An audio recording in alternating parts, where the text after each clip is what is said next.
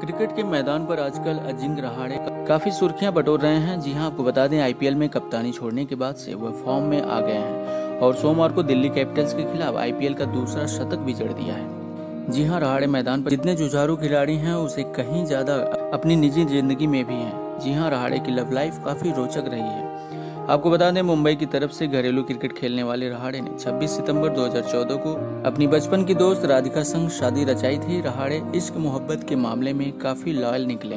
वो अपने पहले प्यार को आगे बढ़ाते हुए शादी तक ले गए। जी हाँ आपको बता दें, रहाड़े और राधिका एक दूसरे को बचपन से जानते हैं। रहाड़े ने शादी से पहले अपनी पत्नी को पहला प्यार बताते हुए सोशल मीडिया पर पोस्ट किया था। उन्होंने लिखा था, मैंने अपनी बेस्ट फ्रेंड और प्यार को जीवन साथी चुना है। शादी के बाद राधिका अक्सर स्टेडियम में रहाड़े के लिए चीयर करती नज़र आ जाती हैं। अजिंक रहाड़े भले ही राधिका से लव करते रहे हों, लेकिन उन्होंने शादी घर वालों की रजामंदी से की है।